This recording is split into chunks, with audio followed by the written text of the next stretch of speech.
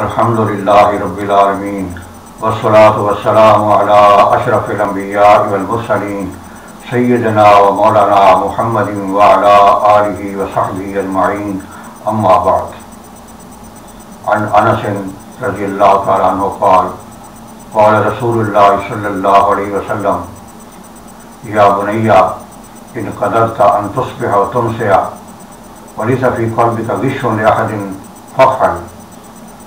ثم قال لي يا بني وذلك من سنتي ومن أحب سنتي فقد أحبني ومن أحبني كان معي في الجنة أو كما قال النبي صلى الله عليه وسلم رواه الترمذي. On the authority of Anas bin Malik, may God be pleased with him, he said, The Holy Messenger of Allah, may peace and mercy of Allah be upon him, he said, O my son, if you are capable of waking up in morning and ending of evening and you have nothing in your heart of deception to any other. And he said, Oh my son, this is of my sunnah. And who loved my sunnah, then he loved me. And who loved me with me in paradise at the day of resurrection. Respected viewers, Anas bin Malik is a famous companion of the Holy Prophet, peace be upon him, and he lived in his service for 10 years.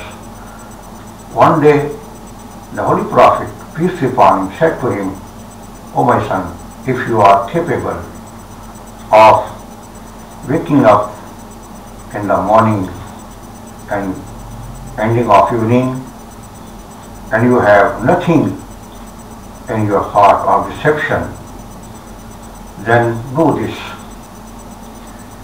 It means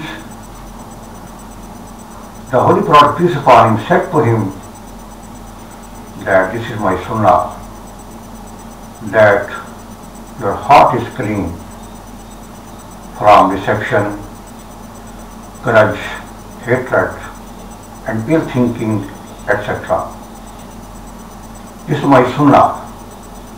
And whoever loves my sunnah as he loves me, and who loves me will be with me in the paradise at the day of resurrection.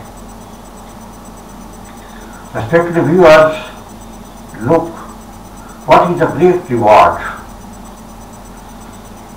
for a faithful believer who loves the Sunnah of Holy Prophet and he has a clean heart because if heart is clean from deception, grudge and ill thinking, hatred, etc. or any diseases, then this heart will reflect the inspiration from divine.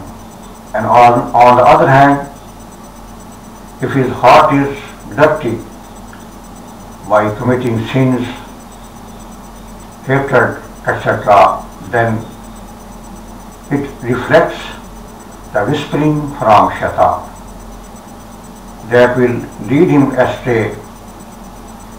So, most respected viewers, it is necessary that a faithful believer should have love and affection from to other people, to other faithful believers, and should not have the grudge, hatred, etc.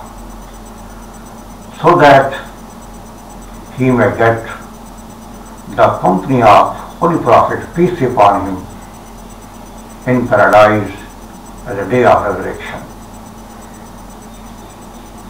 Respected viewers, This is the teaching of Islam that a faithful believer should have clean heart.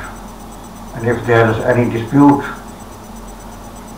stands between two faithful believers, then he should say to him, Brother, I have noticed such and such in you.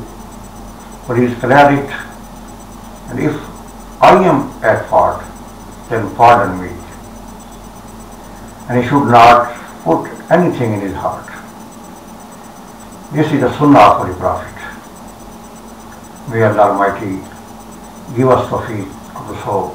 Ameen. Umarina, Idil Brahma